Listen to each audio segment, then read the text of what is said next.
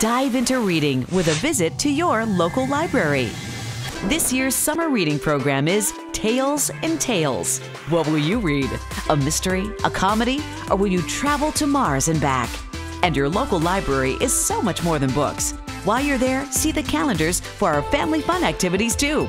Near or far, your summer reading doesn't have to stop. Summer is here, so let's get to reading. Come and visit your local library.